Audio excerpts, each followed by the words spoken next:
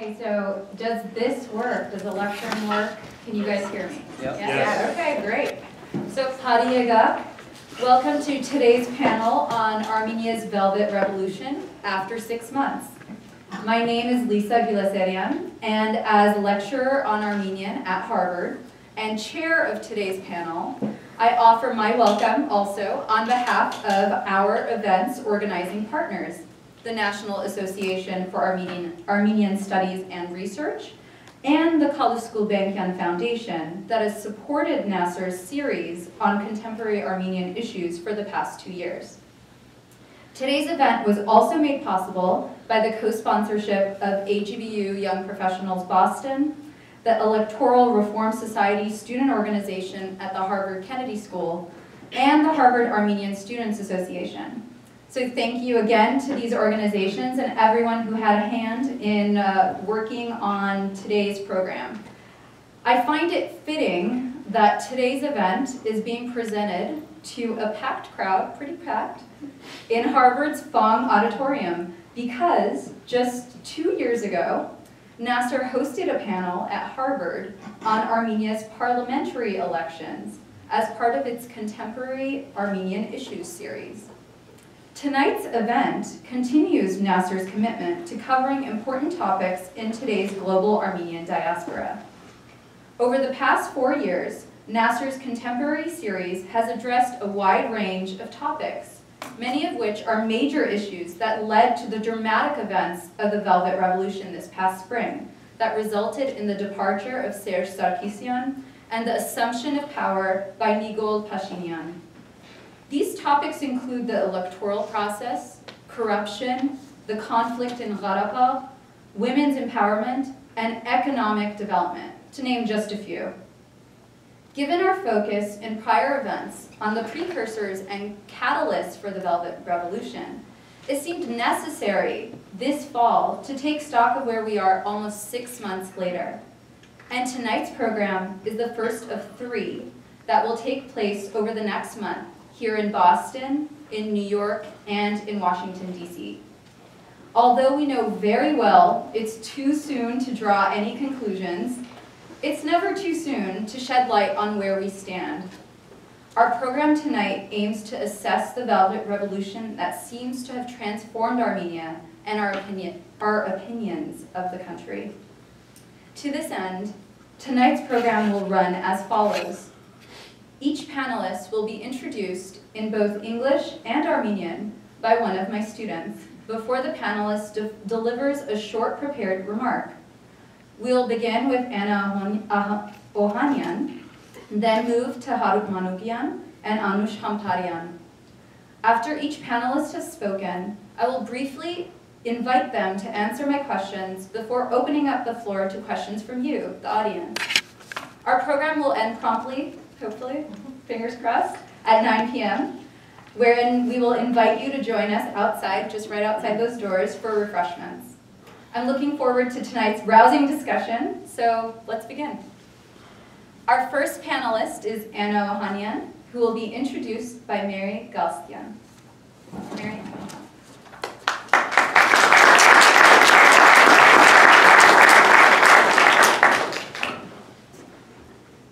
Good evening, ladies and gentlemen. It's a pleasure to have all of you here tonight.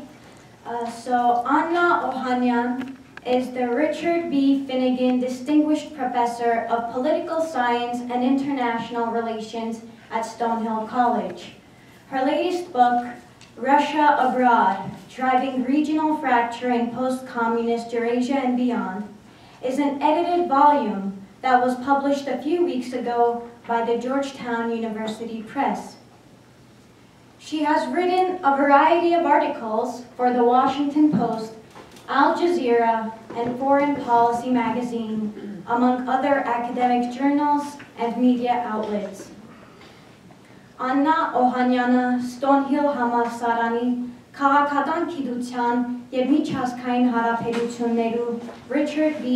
Finnegan դիպլոմի պրոֆեսոր է։ Օհանյանի վերջին խմբագրությունը Russia Abroad, Driving Regional Fracture in Post-Communist Eurasia and Beyond Քանի մի շաբաթ առաջ հրադարակվեցավ Georgetown համալսարանի խմբագրական կողմեն։ Ան բազմաթիվ հոդվածներ գրած է Washington Post, Al Jazeera, Foreign Policy բարբերաթերթերուն եւ այլ ակադեմական օրաթերթերուն եւ մամուլներուն համար։ Սիրելի հանդիսադես, եկեք սիրով ողջունենք Աննա Օհանյան։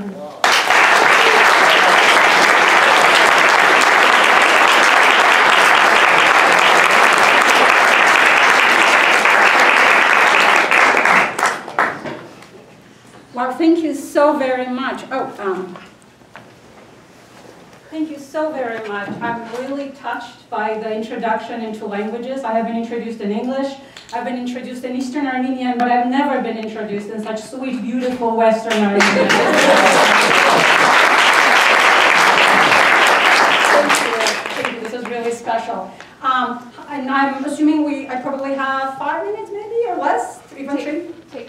The time that you need to. I'm going to be short because we have some exciting speakers on the panel who have a very unique and important perspective to share.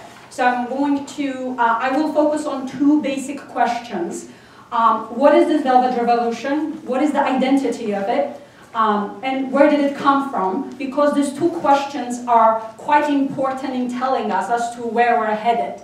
And let me just start by saying that as a community, as a community in Armenian community here, Armenia, as well as in Armenia, um, we are still reflecting on what happened in Armenia. Academic community also uh, didn't quite, uh, hasn't yet had time to fully digest, understand, and place this revolution in, the, uh, in a very important place where it belongs. Um, as well as globally, the significance of the Velvet Revolution in the region, as well as uh, globally, considering that right now democracies are declining, uh, democracies that uh, are uh, established and consolidated are losing their quality, uh, countries, political systems that are stuck in between are moving towards authoritarianism. So what happened in Armenia is significant, is very special and very exciting. Um, the first quick lesson is that uh, the Velvet Revolution has important lessons for countries that are demo aspirant democratizers, countries that are stuck in between, and countries that are stuck in geographical neighborhoods between, uh, between competing geopolitical powers. Uh, which have already proven a tendency to derail uh, democratic transitions and very often, even in Armenia, the identity of this revolution continues to be debated. Often authoritarian forces will try to depict it as a color revolution, the implication being that this was something orchestrated from abroad. Uh, Soros is a dirty word in Armenia. I was really surprised to find all of this out in Armenia. So let me just say, say simply, velvet is not a color. And what happened in Armenia is not a color revolution. But then what is it? Um, in terms of its key attributes, um, it was a peaceful, non-violent mass-scale protest. And I have spoken on this on several occasions, but the importance of this, that this was mass-scale civil disobedience, this are, the, uh, so, these two are essential attributes for the Velvet Revolution. Um, some of the important attributes because they will translate into long-term consolidation of democracy. Let me simplify this. Because it has been a mass-scale civil disobedience, that means uh, in kind of explaining it more simply and not relying on political science jargon, I apologize, is that this was a mass-scale mobilization of a large number of people, 150,000 people on the streets. And uh, largely in contrast to some of the color revolutions, uh, this movement did not develop top-down. This was the result of decades-long um, civil society uh, uh, uh, initiative, peace, peaceful protests, and because it was so intimate, because it was so participatory, uh, this is set to translate into civil society engagement. Data after the numerous cases, case after case, large and uh, large number of uh, case studies around the world, uh, we call it high-end data, indicates that when revolutions happen, uh, or such big democratic transitions happen, the biggest danger that democratic transitions face is when people go home. And then they demonstrate, they topple the dictator, they go home, and then a year or two later, you're stuck with either another authoritarian or someone that is worse, that is uh, even more authoritarian than the one you just deposed. And the reason is simple, that when people go home, they do not engage, the, the change, the, the possibility for an, of an authoritarian reversal is very high.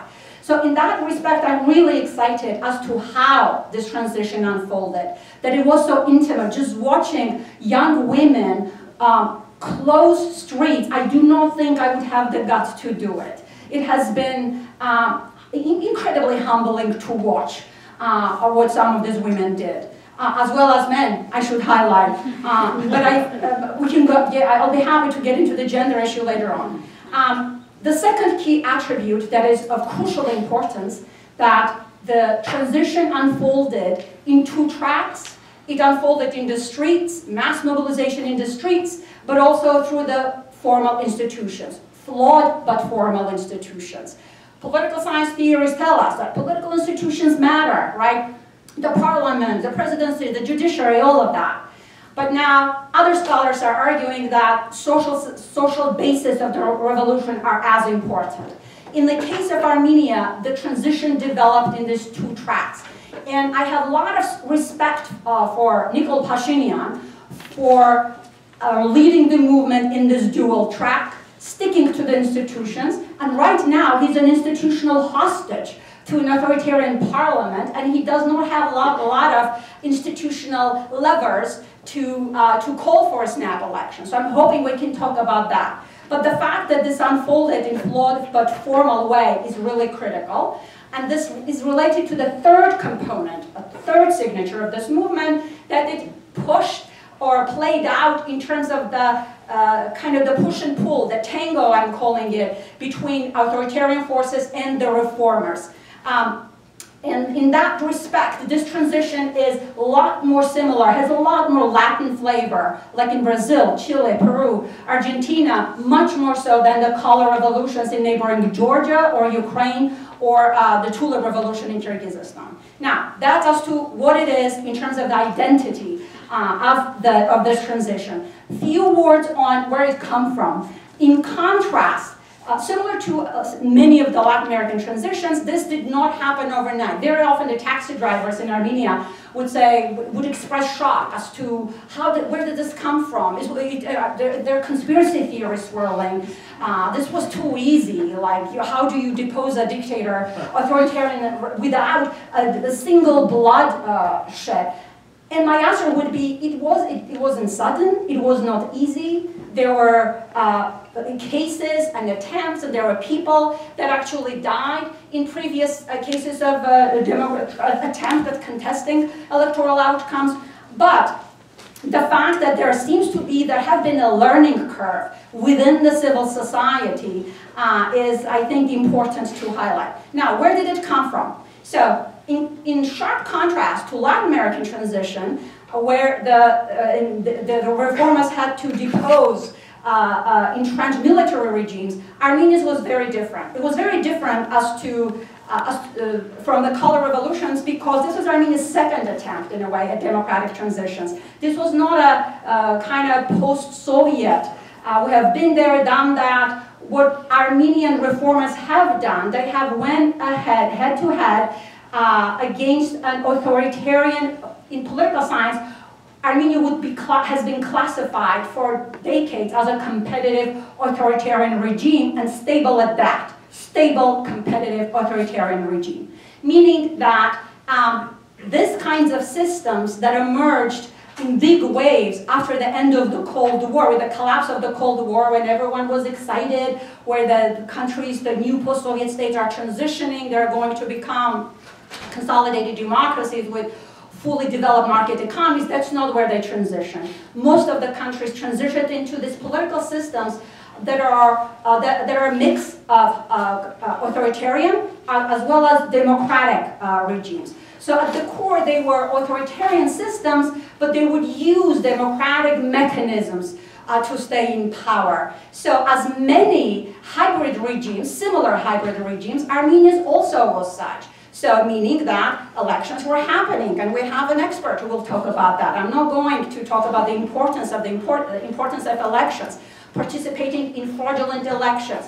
And NAASR, again, last year, indeed, Lisa, organized the, uh, the forum on parliamentary elections, and many people from that audience went to Armenia, observed elections, along with my student from Stonehill College, who was in Armenia at the time. She also served as an election observer then. So um, this kind of regimes practice electoral uh, uh, uh, uh, practice elections, organize elections, uh, media is a little bit open. There's, in Armenia, the state media was controlled.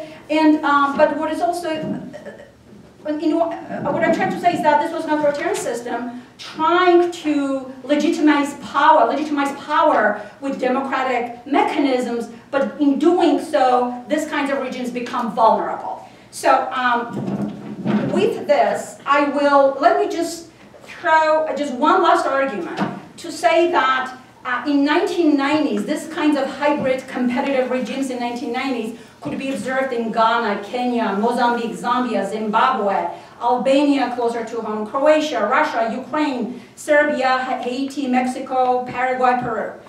One more statistics, and I will, uh, and I will stop. Um, in nine, this kinds of regimes are a lot more vulnerable to democratic transitions and consolidation relative to fully closed traditional authoritarian systems.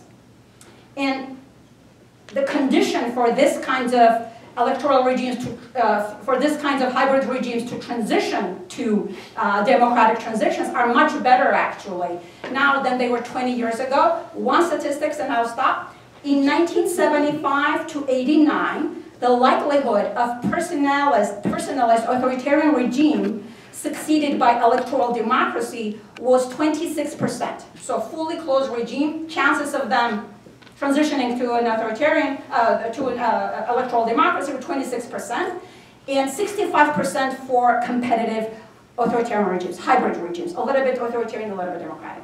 In 1990 to 2004 period, those numbers are 78% for fully closed authoritarian regimes, right? President Aliyev, watch out and 94% for competitive authoritarian regimes to be succeeded by an electoral democracy. I'll stop here and we'll talk about where this is headed in the Q&A. Thank you.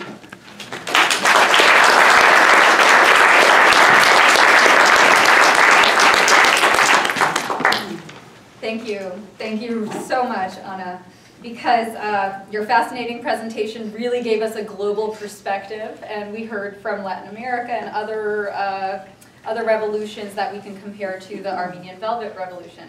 Also, I really think you've got a trademark that velvet is not a color. Very so, so well, next time we talk, I, I want to hear about that.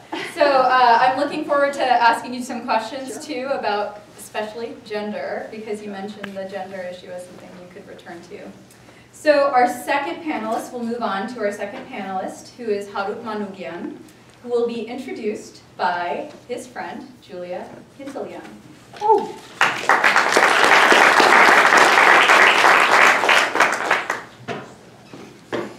Good evening. Harout Manougian is a Master in Public Administration student at the Harvard Kennedy School and a very good friend of mine. His focus is in the area of election administration and electoral system design.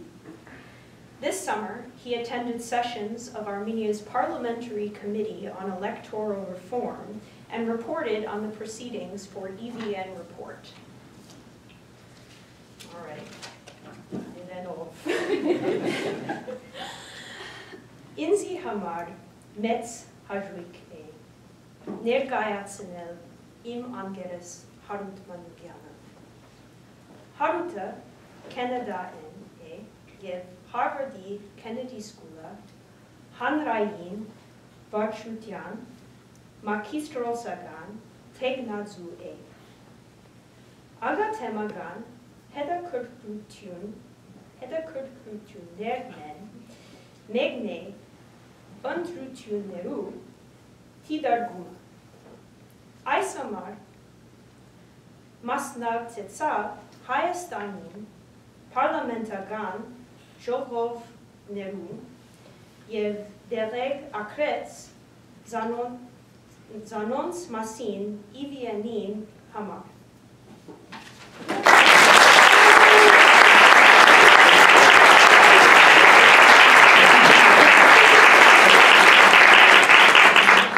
Thank you so much, Julia, for that introduction. Actually, I'm going to take this mic here so that I can move around a little bit.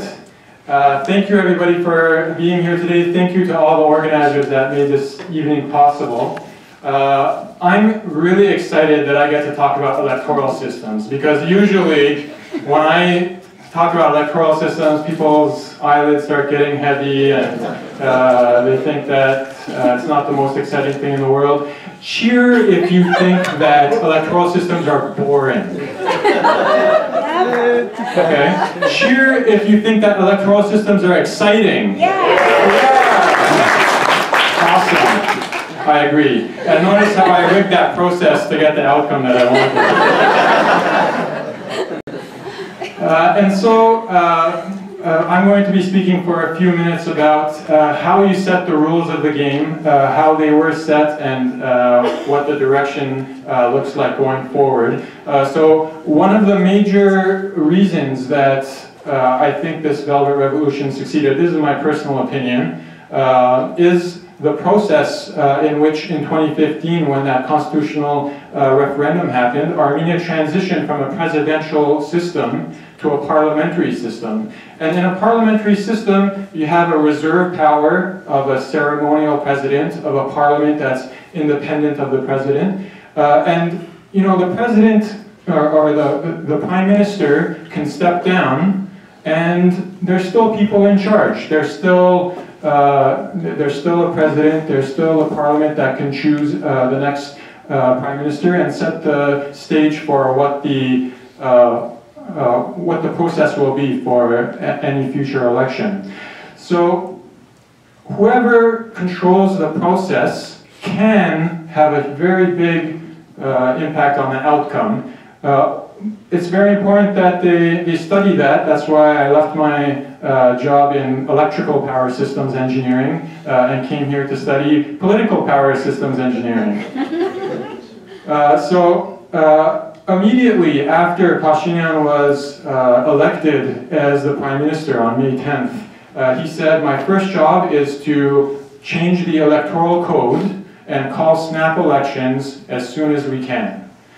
Because uh, the previous electoral code was written by the previous administration, they had uh, complete influence on uh, what was going uh, to be in it, and and it was very important that any future election was fought under rules uh, that are going to be that everyone is going to agree uh, are fair. So it's a very interesting situation where uh, the prime minister does not have a majority in the parliament that needs to pass this law, and the law actually has to pass. I think it's 60%. It might be it might be two thirds. Uh, I think it's 60% of the parliament needs to agree to change the electoral code. And so, uh, what needs to be changed? What's wrong with Armenia's electoral code? What, what are the issues that we need to fix? Uh, so, uh, I think the 2017 uh, election was a really popular one. I, I also uh, went to Armenia to uh, be one of the election observers. And, you know, I sat there the whole day from uh, 7 a.m. to past midnight. And within that poll, things seemed pretty normal. I've, uh, I've been in, uh, I've scrutinized elections in Canada. I've, I've uh, actually, I was also elected as a school board trustee in Canada. I know how elections uh, run. And this looked pretty close to a Canadian election. I couldn't see. I came home and people asked me, how was the election? And I said, you know what? It seemed pretty normal to me. And what was interesting was how the uh, what the processes were uh, to kind of uh, wiggle through without actually stuffing a ballot box, which has happened in, in, in the past, but uh, not, in, not in my poll in 2017. So uh, later, talking to people this summer, I was with Transparency International uh, and with EVN Report, uh, and, and I learned these legal uh, things that were going on that were a little bit questionable. So first of all, if you need assistance uh, to fill out your ballot, uh, then you're allowed to have someone uh, help you out. There, there aren't necessarily accessibility machines like in, in Toronto you can uh, blow into a, a, machine to mark your ballot for you uh, without someone else's involvement. They, they don't have those in Armenia, but you can bring someone else. And you know what, I was like, yeah, there are a lot of old grandmas. I assumed there it was their grandson uh, kind of helped them uh, uh, fill out the, the box, and, and that's perfectly within the rules. Uh, you can uh, register who, who the assistant is, and they're allowed to cast that ballot, and, and that's not illegal. And then I also noticed uh, so the way uh, the way the 2017 election worked, it was a little bit different from uh, the past. Uh, there used to be an issue called carousel voting. Who's, who's ever heard of that term before, carousel voting? So uh, the way it works is normally you come to the election booth, they give you a ballot, you mark the ballot, and, and you put it into the box. Now if you can take one ballot out of the election booth, uh, out of the polling station, if you can uh, have a ballot, now all of a sudden uh, somebody uh, can give that ballot uh, to the next voter, mark it ahead of time for a certain person, and say, cast this ballot when you go in and bring me your empty one. And so uh, they go, they do that, they bring the empty one, uh, and you, you mark that one outside, and then you give it to the next person, and it's like a carousel, and that's why it's called carousel voting. Uh, so the 2017 election actually already addressed uh, that issue. So in 2017 it was very different. There were an excess of ballots. There was no shortage of ballots. You want a ballot? Uh, there's a whole garbage can full of ballots. You come, uh, there are nine uh, different pieces of paper one for each party. You have to take one of each of the nine pieces. You go into the polling station and you pick uh, one ballot to put into an envelope. Uh, and you throw the rest in the garbage right in the polling station. So let's say someone gave you a pre-marked ballot.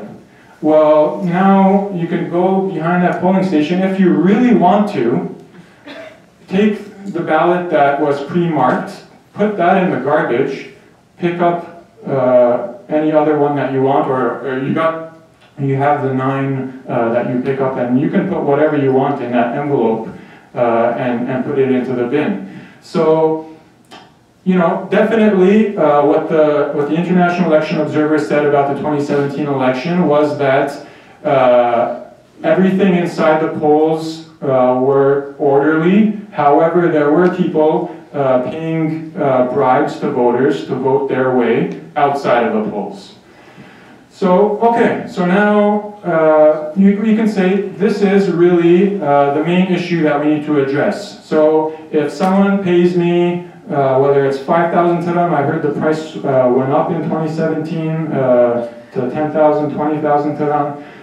if someone pays me that, they want to know that I'm to cast the vote that the way that they want. And if it's an actual secret ballot, you know, I can take their money and vote however I want anyway, and that uh, reduces the whole investment uh, model.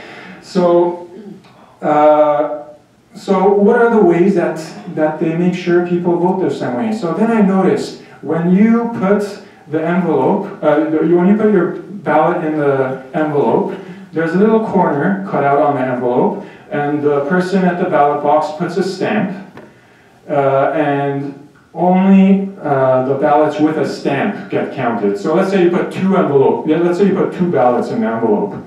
Uh, only the one with the stamp is going to count. So if some other ballots find their way into the ballot box, and if they don't have this holographic stamp, uh, then they're not going to get counted. They get thrown out. And, you know, sometimes the person working the ballot box puts this square stamp square with the corner, and sometimes it's a little bit diagonal. And I thought it was interesting. Uh, I couldn't really explain it. Uh, and potentially, if the person really, if the person working the polls and all of the people working the polls are appointed by the parties uh, with current seats in the parliament, technically, if they know uh, that uh, someone is going to be uh, voting a certain way, maybe they could put in like a check to see maybe all the diagonal votes should should be for a certain candidate. Really, I, I don't know enough to, to clarify whether that was an actual strategy or not. Uh, but one strategy that was definitely an issue was uh, making markings. So someone gives you a ballot, they say, uh, you know, I want to make sure that uh, you vote the right way. So when you go there, put uh, like an X in the corner or put something uh, on there. Uh, and, and that's gonna make me understand that this was your ballot and I paid you and I won't bother you because you did what I asked. Now, they also addressed that in the 2017 election. If there was any marking on that piece of paper, then it's a spoiled ballot. They throw it out, uh, which has uh, a flip side effect that technically, uh, if you have a secret pen or something when you're counting the ballots, you can get some of them thrown out as well. Uh, so one of the major things that they wanted to do uh, with these electoral system changes was let's get the pens out of the system. So right now you get one of the nine pieces of paper. On the back uh, there's a person uh, running in your local district and you can uh, vote for that local person. so it's an open list proportional system. It's very different from the way that we do things in North America. it's more common in Europe. Uh, so uh, the, what, uh, one of the proposals was, let's get the pens out. So how can we make a system where there's no pens involved whatsoever? And so uh, there's the, the law hasn't been introduced yet, but basically there's not going to be uh, an open list anymore.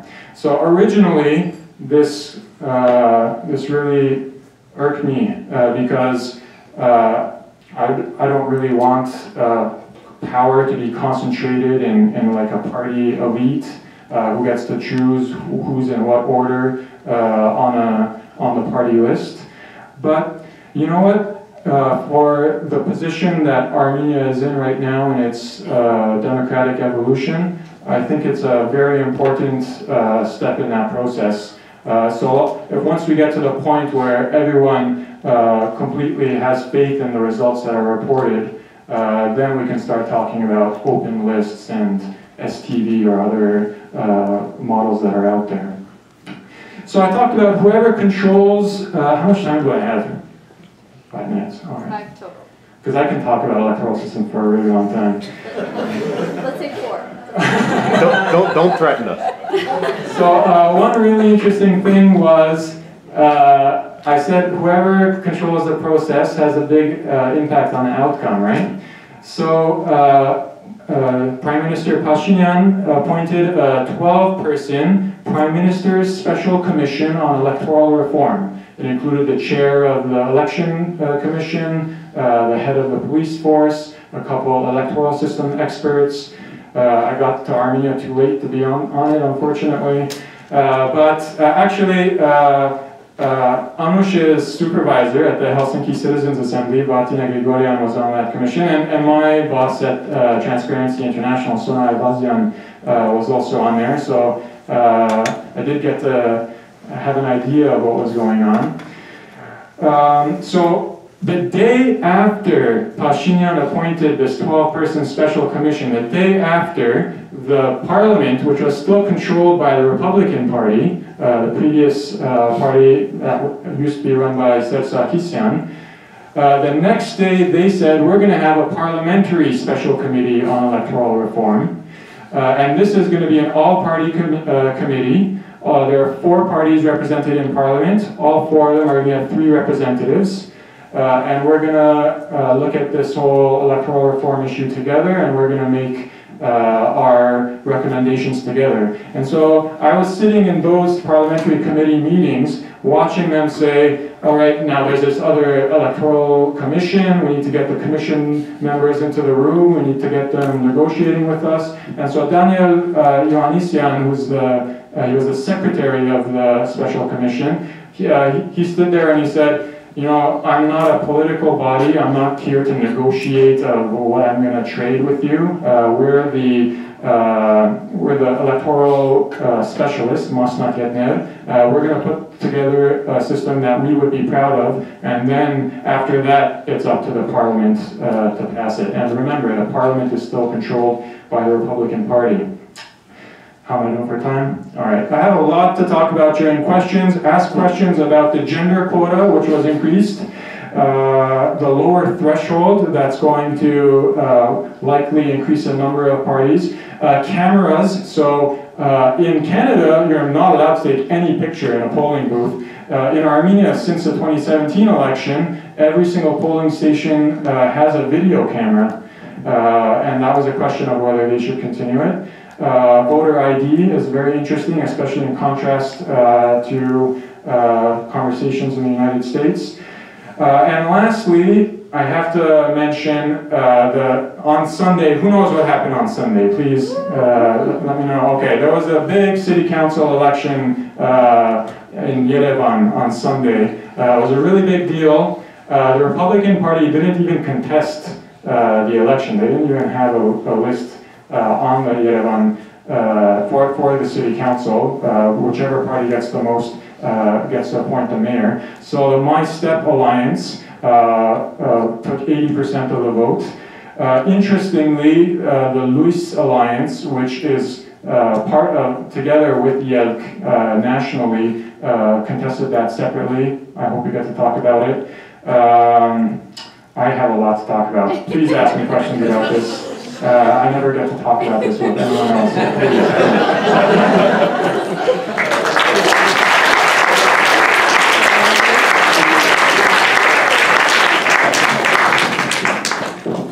Your enthusiasm is pretty contagious, I have to say, because uh, elections, not everyone is as interested as you are, but I think a lot of us were engaged. That was impressive. So thanks for sharing your expertise in Armenia and now here at the Kennedy School. So uh, we will talk, I, I, have lots of questions for you, especially about the things you mentioned at the end. Our final panelist tonight is Anush Hambaryan, who will be introduced by Danny Donavedian. Come on up.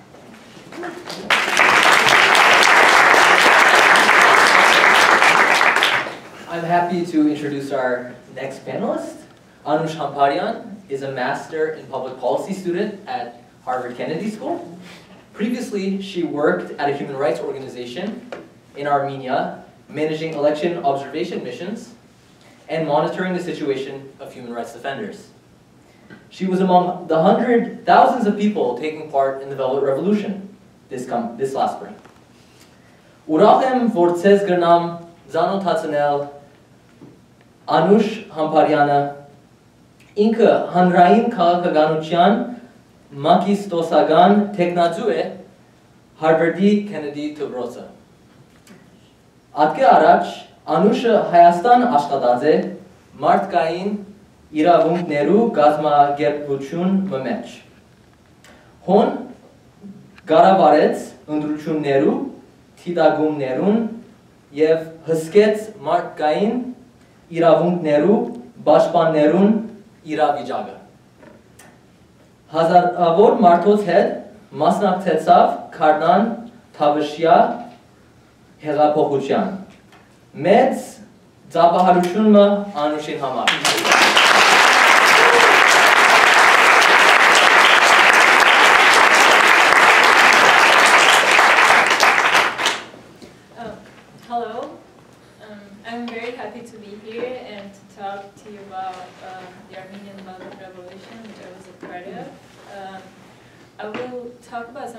that the previous panelists say, but, uh, talked about, but like from a personal perspective, from an insider point of view. Um, I, um, I was born and raised up in Vanadzor. It's the first largest city in Armenia, and I was in Vanadzor during this uh, during this event. Yes, yes. Or, or maybe move the mic a little. Yeah, one of the other microphones. So, yeah, is it better? Yeah. Okay. Um, so I grew up in Vanadzor. It's the first large, largest city uh, in Armenia. Uh, well, uh, it's not actually as large. The population is only like 80,000 people. That's the official number of population, and the real number of population is much lower, probably 30,000 people. Um, and I worked in Armenia during the past three years. I was there during the previous, uh, during the recent mm, events in Armenia during Velvet Revolution. And I would very much like to talk uh, about uh, the events in Vanadzor because um, uh, I think one of the reasons why this revolution was very successful was that um, it was not limited to Yerevan, contrary to the previous um, uh, previous protests that happened in Armenia after um, certain elections, for example, presidential elections uh, in, in 2008 uh, and parliamentary elections in 2012, presidential elections in 2013. We always had, had post-election developments, but none of them were across across country. But uh, during these protests, um, almost every single village, every single town, and every single city, uh, in some in some way joined um, joined the movement. Um, it was a cross-country movement supported by all groups, groups of people and especially young people. And young people had a, a, a major role in those, um, in those events.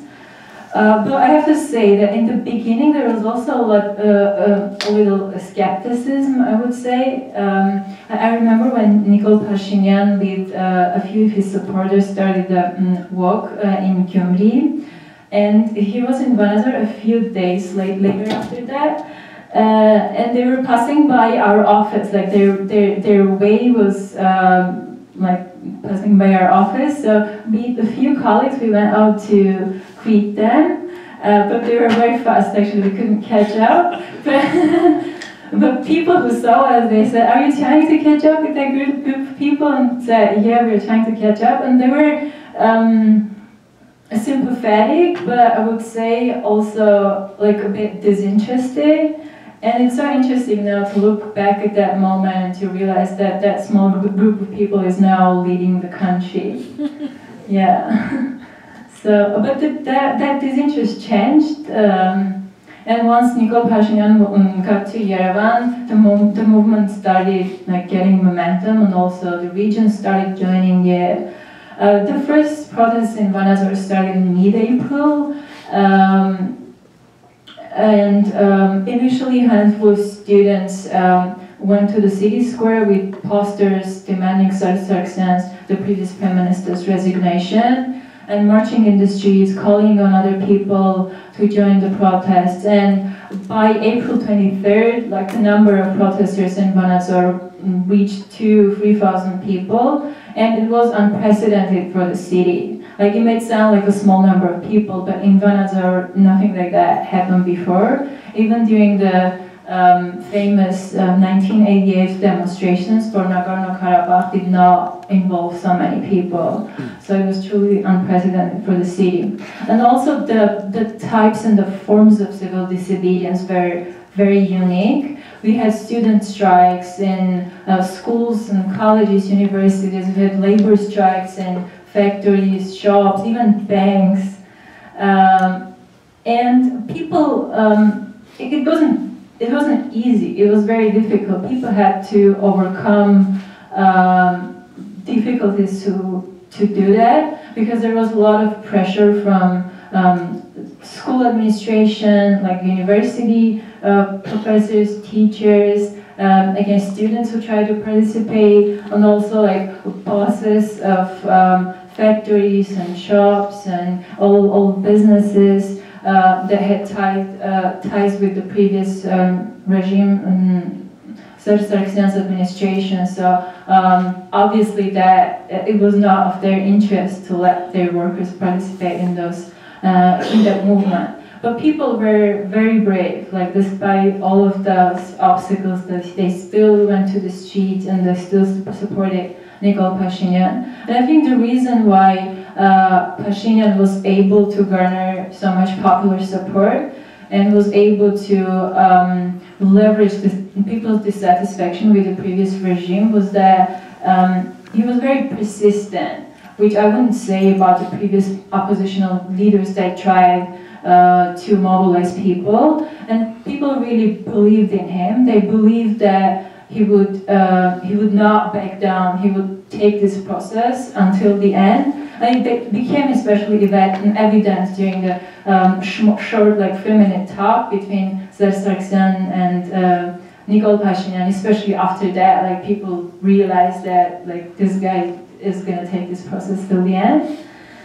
Um, I would also like to talk about women's participation, uh, and especially in Vanadzor. Uh, to me personally, the moment that I felt uh, the movement was unstopp unstoppable and invincible was seeing hundreds of women from a sewing factory marching down the street of, of Vanadzor um, in the morning of April 23rd. And the day before that, Nikol Pashinyan was um, arrested by the National Security Service. And I was afraid that the movement will weaken and slowly, slowly extinct after that. And I remember going to the city, um, city um, square um, on uh, April 23rd and really afraid that I would see fewer people there. And I was so, uh, and I felt so um, empowered and so proud of those women when I saw like the, the big march, like huge amount of women in the street. I couldn't even see the end of the march. And um, it, it was a truly historic moment, I would say. Uh, and I remember at some point I started going back, like going in the opposite direction of the march, and one of the women said, uh, don't go back, uh, join us, there's, there's no going back. And I said, yeah, I'm, I'm with you, I'm, I'm one of you. Yeah, it was, it was a very empowering moment to see like women taking like such a political stance and, and participating in the movement. Um, and hours after that, Serzh Sargsyan resigned, and we even had like a, a, joke in town that was Serzh Sargsyan waiting for uh, for the women from sewing factory to resign. He could have said that earlier, and yeah, people like women would go um, would, would start like their march earlier. so uh, yeah, and um, Sargsyan's resignation, uh, resignation was. Um, celebrated in the city. Like people were smiling, hugging each other, drinking champagne, congratulating each other. Police officers were smiling like for the first time in Vanadzor. and um, um, actually, we had a few small clashes with police officers in Vanadzor as well, but um, they generally obeyed the order, uh, orders and tried, sometimes tried to hinder the protest, protest to stop the protest. But uh, you will also hear like phrases uh, showing hidden support, I would say. Like I remember talking to uh, a police officer and uh, saying that the people are just exercising their constitutional right to freedom of assembly. They're just expressing their dissatisfaction and they're saying what they need to say. And the, uh, the police officer said, well, we have a lot to say as well. It's just like this is what it is. Um, and now there's a lot of uh, there's a lot of discussion and conversation about uh, the sustainability of changes that this movement uh, brought about. And the reason why I believe that this process is irreversible is that it brought about psychological change.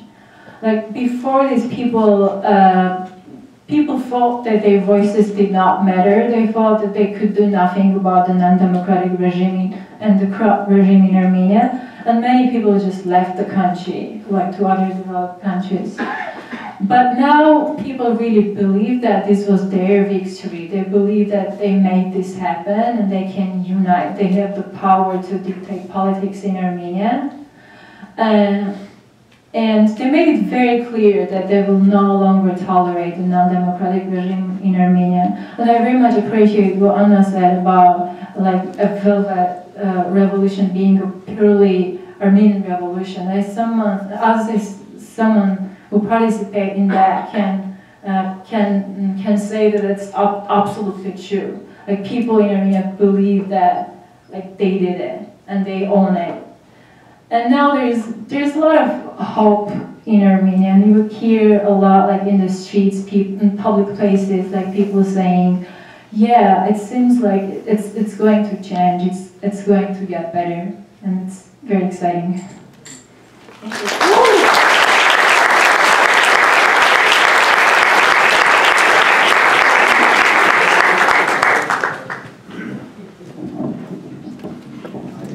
Thank you, Anush, for sharing your personal experience in Vanadzor. I really can't wait to hear more. Uh, luckily, I don't have to wait long because it's time for me to ask some questions of the panelists. And then right after I have a few questions, we will open the floor to the audience. So we'll start with a question from me. Uh, so I'd like to put the three of you in conversation with one another in my questions. So you're welcome to chime in uh, to answer any questions that I pose. Also, is it okay that I'm here? You guys, I, I'm going to be using this one. Okay, so I'll start with a global question for the three of you. Given that our promotional materials for tonight's panel stated that we would attempt to move beyond the headlines to discuss some key fundamental issues, including systemic and structural changes that must take place to strengthen Armenia's democracy, what do each of you think is the most critical change that must be made by the new administration? And have you noted any efforts towards that change that must be made in the, in the past six months? So I know maybe how to, you, you can start because we did hear a little bit about some of, your, your main uh, interest, of course, is probably what you might want to talk about and what you've seen.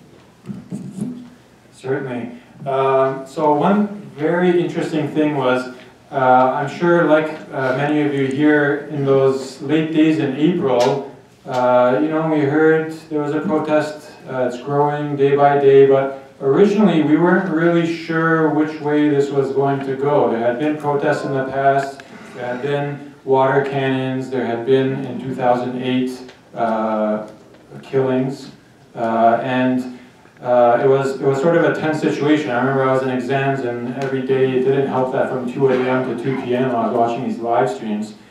Um, but I think what really uh, helped uh, through this process was when those women, when those moms came with their kids in the strollers to join the protest. I think that invoked a very powerful image in the Armenian psyche of uh, of the Armenian women marching uh, through the Armenian genocide. And if, if those police forces, if those security forces had harmed any of those Armenian children, uh, I'm sure you saw the, the picture of the kid with his toy cars blockading the street. Uh, I think this made it, you know, you know sometimes uh, young men, unfortunately, are, are expendable. We're the ones that uh, go to the wars and uh, get violent at protests and, and pay the price for it. Uh, but I think a, a, very important aspect was the, the role of Armenian women uh, in this revolution. And in terms of what's the most important structural change, uh, I get, I'm glad I get to talk about it, uh, was the, the gender quota rule uh, in the Armenian elections. So uh, currently in those lists, there was a rule that uh, one in every uh, one in every four names has to be, you can't have four names in a row of the same gender. So if you have a list of one, two, three, four, the way it, it the way it turned out in 2017 was uh, there would be three males and the fourth would be a female, three males, the fourth would be a female. Uh, but it could have it was, the law applies the other way as well, that you can't have uh, four women in a row either. So that got tightened to one in three. Uh, so now, uh, uh, also because the territorial lists were eliminated, the new Armenian parliament, whenever that election is, it could be as early as November, it could be uh, May or perhaps uh, later than that. But the next Armenian parliament is guaranteed to be 33% minimum uh, women. And having that uh, representative, uh, having the parliament at least more closely represent uh, the people of the country and the, the, challenges that uh, everyday people go through, I think is going to be a very transformative uh, impact. Great. Thank you. So again, I'll just repeat the question, which is, what, it, what do you think is the most critical change that must be made by the new administration? And have you noted any efforts towards making that change in the past six months? Again, I only ask because I want us, as NAASR, uh, I want us to keep the commitments that we make on our promotional materials. so, so, so we're going to answer this question. If it takes all night. If it takes all night, I'm going to get this answer comment on hearing. oh, well, there are two things that like I think are, are, are, are very important for Armenia right now. And also, uh, although Harout only mentioned about like the women's quota, but I think the entire uh, the, the entire electoral system, the changes in the system that are happening, and the fact that like we had free and fair elections in in, in uh, in Yerevan uh, a few days ago, and the early parliamentary elections are expected uh, expected to happen next year.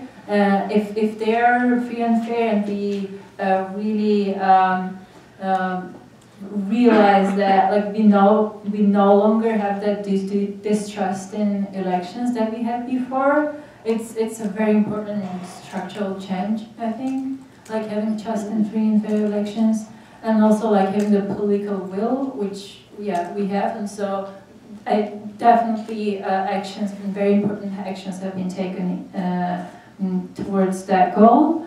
And the second thing that is very important, uh, I think, um, um, before the Velvet Revolution, we had um, um, oligarchic uh, economy in Armenia. We did not have like free market. And uh, the, this new administration is working um, to, to change that as well. And now I could say that like there's no, there, the, the, the rules of the game have changed and there's no oligarchy now. Although the previous oligarchs are still there running their business, but they don't have like any monopolies anymore. And the, the market is free and I think it's, it's also very important.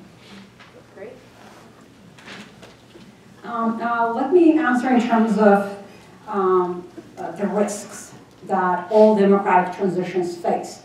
So democratic transition is one phase, consolidation uh, is a whole different ballgame. In terms of uh, risks, authoritarian reversal is, a, as, I already, as I already discussed, is definitely a real factor.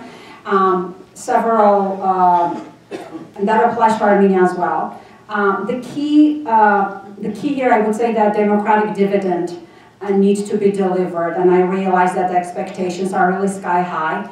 In uh, my favorite source of data collection, taxi drivers. Every taxi I took this summer, I would ask, well, why were you, why did you participate? Was it for the values or was, was it, I actually wouldn't ask them, so why did you participate? And in my mind, I'm thinking, are they gonna say, because I won my voice, democracy, or it's going to say I didn't have whatever to say is the jobs, jobs, jobs, high levels of poverty, inequality. Um, by and large, I don't even remember a case when they would cite economic factors. So it was, it seems, I don't know, my very unscientific uh, data shows that people were, and Anush might be able, was on the ground, chicken has provide a better answer than I do, that people are, were there for the values. But that does not mean that economic factors do not matter. Poverty levels are still high, income inequality is still high. These are known to be stressors for democratic as well as economic, uh, as well as authoritarian states.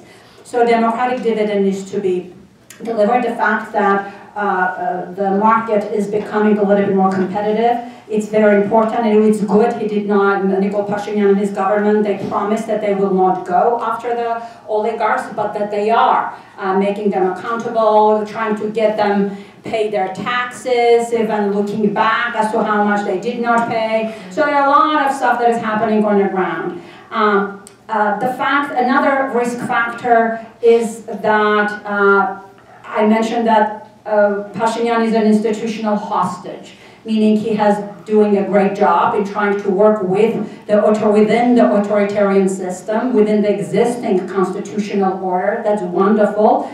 Uh, I'm uh, not sure uh, just he hasn't been tested yet. How far he will go? If he does not get the snap elections, will he continue going through the constitutional route or not? Another important one, and I think he's sticking to it, the multi-party politics needs to be nourished, cherished, supported. Um, while the elections for Yerevan mayor are exciting, 80%, I mean, this is really a, a political marvel. I mean, Nikol Pashinyan had a tiny, it was a very small party, few votes in the parliament, and within this, essentially his support, his base, he did not have much of a party. His base came from the mass mobilization. But within this period, essentially everyone was switching to, to, to his political party. On the one hand, it's exciting, that's a lot of political capital, uh, but many people I talked to on the ground were worried that we don't swing to another, that the pendulum does not swing the other way. Um, I, I think the other parties probably will definitely need some time to rebuild. I think all of the political parties are going through an identity crisis right now, and hopefully things will balance a little. Uh, the fact that Armenia is a parliamentary democracy in general, it's better uh, for nascent, weak democracies as opposed to presidential elections generally, so that's good. Um, one thing that they have been crystal clear on doing from the beginning is taking politics out of the educational system.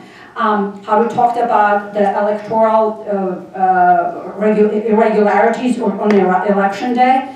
Um, uh, equally important problem is that when the election is fixed before and the use of administrative resources, including the educational sector, using public, state institutions of higher education, the school system, the teachers, telling them how to vote. Um, so they are very crystal clear on getting politics out of. I'm very excited that this is happening. The Minister of Education even called on parents. I mean, everyone's so excited about the revolution. Ever, the, the, my my, my 13-year-olds uh, wanted a Dukhov hat, which they got. Very exciting. Even, but there are even notebooks with the Dukhov logo. They're on the market. So the Minister of Education is very impressed. He called specifically on parents, saying, please do not buy those notebooks for your school. And I think that is quite telling. That, that's quite telling.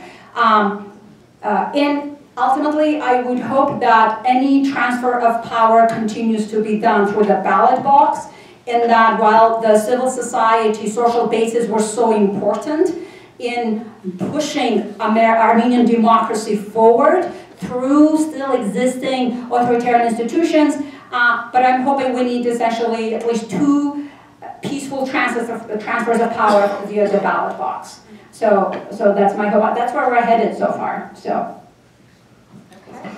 Great, wow, okay, so we did, we lived up to our promotional materials, we have now given the people what they wanted. So uh, we are, uh, I, I want to open it up to questions, but I do, I did promise that there was a question that I wanted to ask, which was about gender.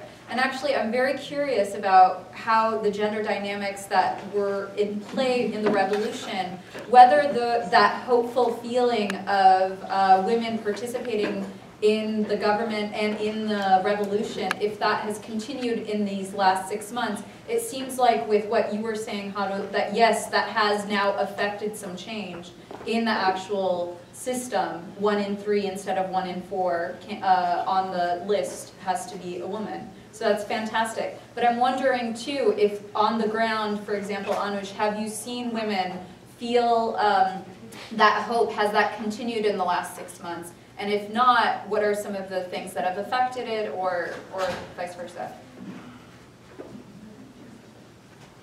Um, so when, when after the revolution, when, when the government was formed, we actually were a bit disappointed by the proportion of women and men, men in the ministries because out of 21 ministries, we only have uh, two, two female ministers.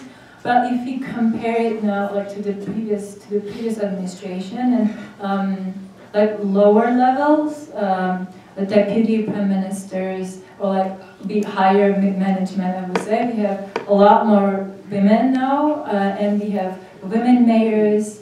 Uh, so I would say um, yes, compared to the previous, compared compared to the previous, what we had previously. Now there is uh, definitely changed, and a lot more women are now involved in the government. So, but like, it, it's still not enough. There, there is still need for improvement, and I think um, the the new administration has to show like a lot more uh, willingness to involve more women. But also, yeah, the gender quota has um, has um, has increased. So yeah, comparatively it's better, but could be could be much better.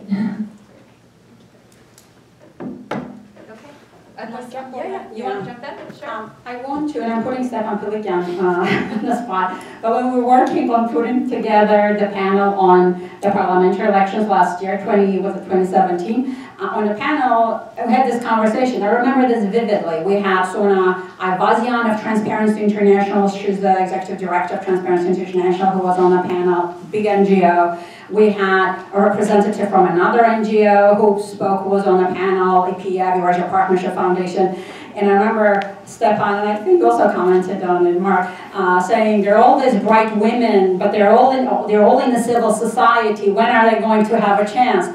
And that is very symptomatic. I mean, uh, reflective or telling how things were in Armenia. And thank God, women were in the civil society. Actually, turned out because women were pushed out of the government. There were some women who were in the government actually who contributed to the authoritarianism that we have, we had, but um, many were predominantly women were leading some important international as well as grassroots NGOs. And being in the civil society, they played a key role. Just visually looking at uh, during the during the revolution, visually looking at the squares, the streets that were being closed, places where there were largely women, that there were women present, present, they were real easier to diffuse. The tension with the police, clashes with the police would de-escalate quickly, which is supported by the data.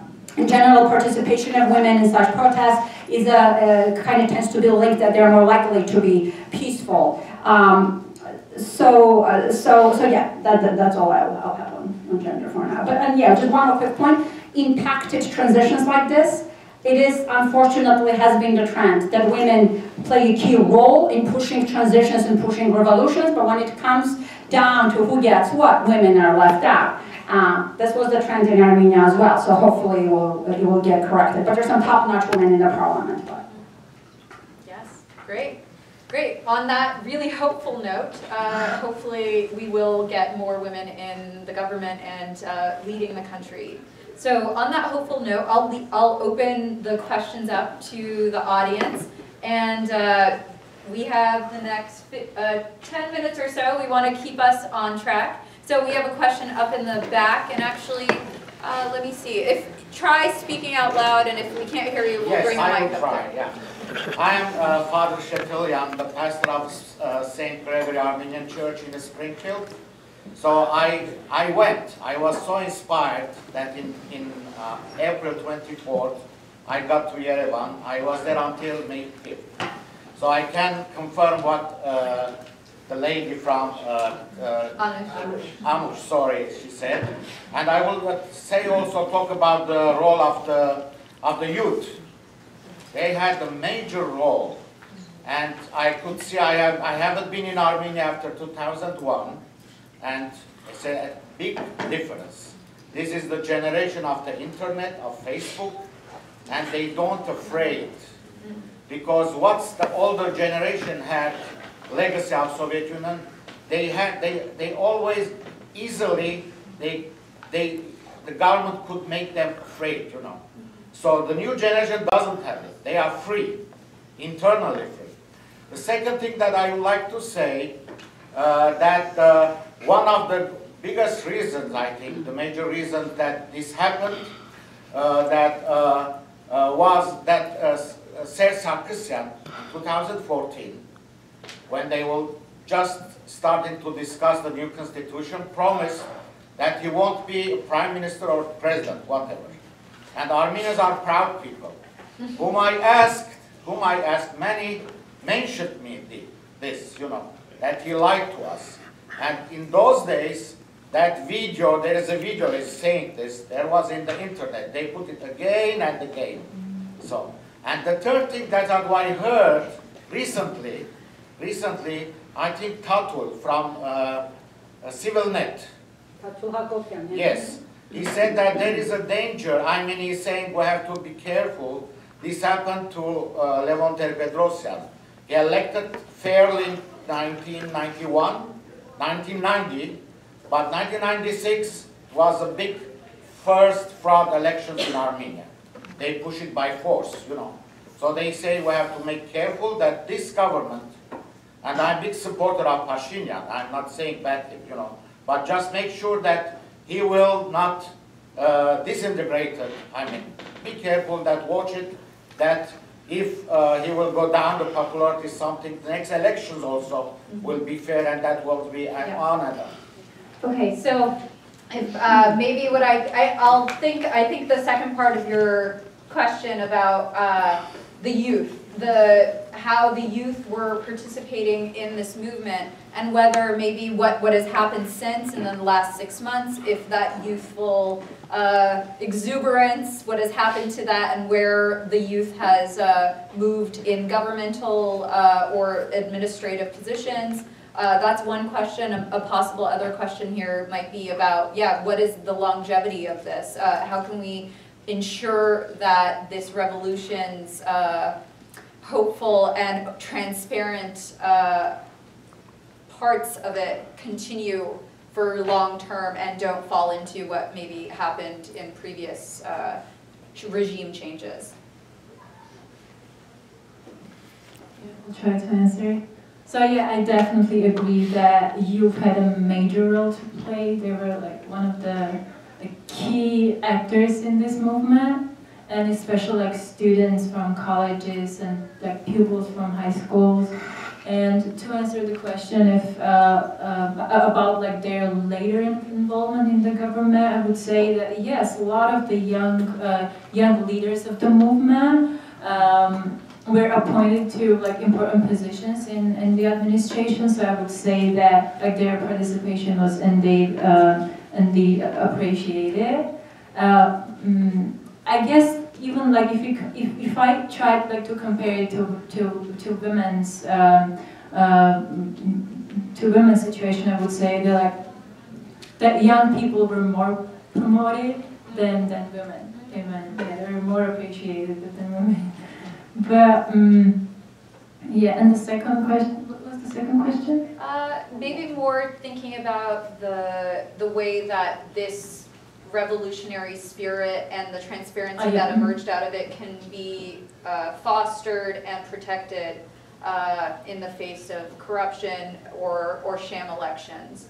Yeah, it's, it's, it's, it's very difficult to answer that question because it takes time. We can't, we can't predict what's going to happen like in, in two years, in three years.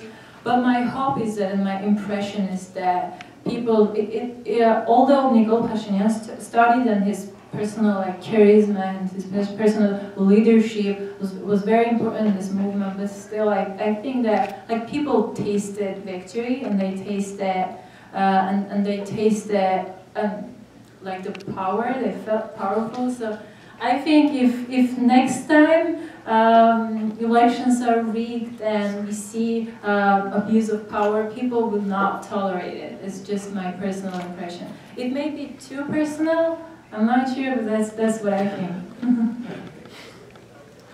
Uh, and I just want to add to that, uh, one very interesting thing that was different in 2018 was, uh, so not only did people have Facebook accounts, but people had it on their phone. Uh, and so Telegram actually uh, was a very important uh, organizing tool. There was a Telegram channel that said this is what's going on. And so sort of breaking the, the media uh, gatekeepers uh, which we've seen uh, cause a lot of events around the world, particularly the, the Arab Spring. So sometimes Facebook and Google they get this bad rap of you know promoting uh, extremist things, and Uh, on the other side, uh, we, we should remember maybe it's not a good idea for the state to, to regulate uh, different types of media. And as long as that's free, so for example, Telegram is blocked uh, in Russia.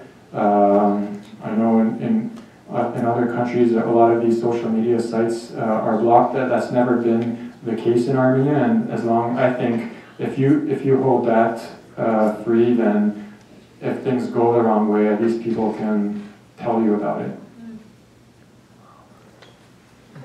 Uh, we have a question. up here. Hey, first of all, EVN report is the best source for. Woo! EVN report.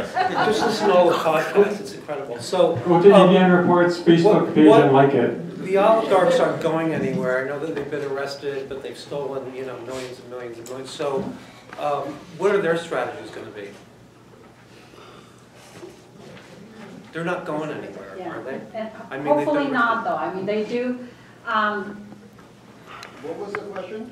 Uh, What- what- maybe what wrong to way do put about these The question really is, what are the dangers for stopping the revolution? Uh, What are the oligarchs who aren't disappearing going to do moving forward yeah. to keep their power? I, I, I think that if the, on the political realm, if the reforms continue the way they have, um, I can, let me just say that I do not have data, I'm speculating. Based on observations that I've seen so far. So, and meaning that I don't know whether uh, some of the major oligarchs are trying to work with the Republican Party, that's where their linkages are. Whether they will work, continue, try to work with the Republican Party to make things difficult in getting to snap elections. Uh, so they probably will judge. Let me just say that, that if you might recall, uh, Pashinyan was voted in a parliament after a second try, and, and, and I kept saying that it's the businessman, there's a term, businessman, um, uh, what is it? Um, there's an oligarch, uh, no, politician business, no, members of parliament business. There's actually a term for it, meaning that it's okay to have your business, large business leader, a large business and be members of parliament. And I was thinking they're going to be the first ones who are going to flip because they're not ideological. They have, the stakes are high and people using again, because this was a non-violent, peaceful protest, disobedience, they boycotted their uh, uh, big chains. Uh, and it was jarring to see the big uh, grocery store that is always full with people on the days of transition, not a single soul was shopping in it. So I think my, my thinking is that they will try to adapt. And Pashinyan has been wise to say, I'm not going, there's not going to be, there's not going to be property transfer. We're not touching what you have. We just ask that you pay, you fill the coffers. The Western donors are not rushing to provide financial support, at least not for, not yet. And that might be a good thing. And Russia is in no rush to support this democratic transition. So the current government is definitely looking for alternative ways of filling the coffers and uh, looking at the diaspora as one strategy, but also internally to generate the capital, trying to get these businesses to start paying taxes, and in some cases opening investigations for previous uh, tax evasion, etc. So that's what's happening. There is a path for them to adapt. Um, there is a path for them to go along, and I think that's a that, that path is there, and I and. Uh, there, if political, if political if things go the way they should, the way we hope that they would, they will definitely adopt. It is, I have not looked at other cases of corruption and the role of oligarchy in other parts of the world, so I don't want to comment more uh, on this, but the fact that many economies, actually Ukraine's economy, 80% is in the hands of oligarchs. Some, like a few years ago, I saw 60% for Armenia. But the fact, as long as the small and medium enterprises are allowed to breathe, um, that will generate, Armenians are very talented, resources people, they will, they will take care of themselves. Okay, so we have so many questions, and it is, uh, it is nine. I, I think in some ways, what do you think? Should we just keep going? Yeah. If you're willing, we could keep going. I'm, it, this is great that there are so many questions. There's actually a question up, up, up in the No one's back, kicking us actually, in, uh, the second from the back, yes. Um, First of all, thank you for being here today and giving us your insight. Um, I just had a question about elections, and I know in the past there have been, uh, ballots cast on behalf of people that are dead or people that are. What is your, um, input on that, and is there, are there any changes being made right now about that? Uh, Certainly, so uh, particularly, so you mentioned some people that might have died. Particularly, there are a lot of Armenians that uh, the day of the election, whether they moved permanently or whether they work uh, temporarily outside of Armenia, are not in the country. Uh, And so one of the proposals uh, was, uh, and they use, they the word, or maybe I use the English word, pur- purging of the voter lists. Uh, So in, in the US, this is a very sensitive subject of, you know, making it difficult for people to register to vote. Uh, But basically, uh, one of the proposals is if someone hasn't like renewed their, their voter ID card, so voter, so individual ID um, is not mandatory in Armenia, and it has a 3,000 dram, like $10 cost. Um, uh, So there was this question of, you- so you need an ID to vote. You need either a passport or you need uh, an ID card to vote. Uh, And so there was this question of, are they going to uh, provide free IDs like the month before the election uh, for people to make sure that they can be on the list? Uh, And, and the thinking was that if someone had died, if someone had moved away and they're not going through this process, uh, then the list would kind of get cleaned up. Uh, It's a difficult approach because every Armenian citizen has a right to vote in the constitution. So even if they live in LA, if they fly in on election day, uh, they are allowed uh, to cast that ballot. Um, So uh, in terms of, uh, a, a a very interesting thing, um, so we just had the mayor's election on Sunday. Every single one of these uh, voter lists that are assigned uh, when, you, when you get your ballot are, are scanned and put online. Uh, and uh, like I'm a big privacy guy. I have I downloaded them all anyway, but uh, I have like every single Yerevan uh, resident's like name, birthday, and address, and their signature, and whether they voted. Um, so So, quick question, why is that? Why, why? it's for transparency, yeah. Uh, Okay. I think it's a little bit excessive. Uh, But, uh, so if, if someone signed for this person that's born in 1904, uh, like it, everyone will know that, like a ballot was issued to that, to that name. Okay, so let's see, let, let's say this is the last question, last question? Okay, uh, everyone? And we can talk more outside. That's, tr- that's true. In fact, we, we definitely should and could uh, talk outside, where we will have snacks for everybody, refreshments will be outside. So, uh, Danny, sure, Danny. let's. Actually, I was like, uh, had an idea. What about a lightning round? So we have like 30 seconds. Lightning round. So we can fit like maybe two questions, something quick. So I guess uh, my question is to uh, you, Harout, and also Anush. Um, I guess diasporans have come to accept that uh, the role of diasporan political parties in Armenia is going to be much less than we expected over the decades. I know the ARF, you know, is a little involved in Karabakh politics and you know a little bit in Armenia or was with the previous ruling administration. Uh, but there's a lot of these new political parties that we don't know about. I mean, we know the, the Karabakh clans, you know, Republican Party, Serge's party. We know that there's Tsarukyan's party. But Yelkin Lewis is something that uh, is, is new to a lot of people, and especially like their cooperation. Um, I know this is something that you mentioned you wanted to talk about, uh, and I guess on, on Anush's side of things, to what extent have like NGOs or people you've been working with, uh, civic society, trying to get involved, uh, you know, co- colleagues and whatnot with these new political parties? Can you repeat the question?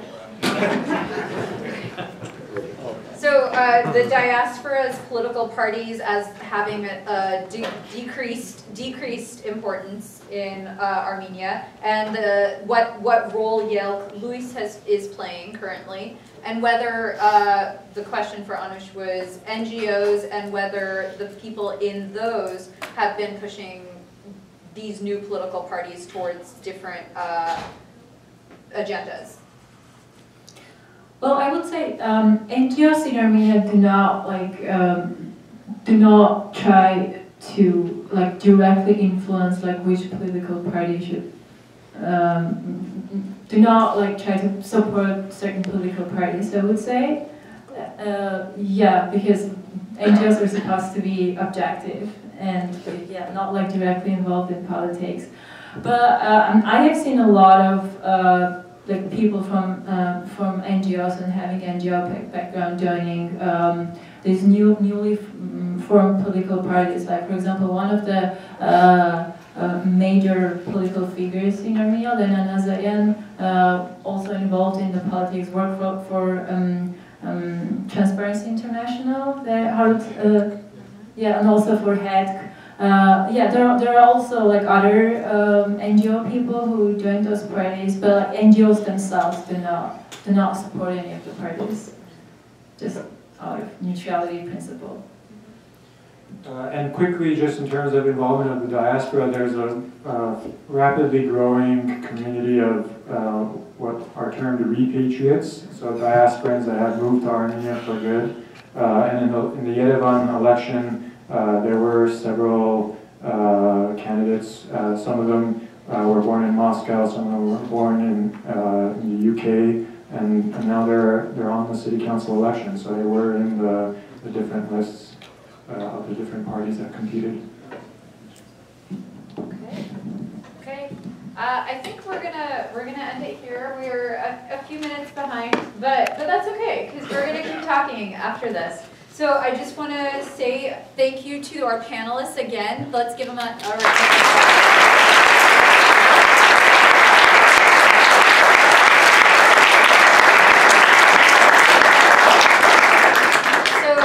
we can definitely move our conversation and the questions that you still have outside where we will have snacks, refreshments for everyone. Uh, and we, again, thank you all for attending and hope that we can see you at future issues, uh, contemporary Armenian issues events. Panoramic. Thank you.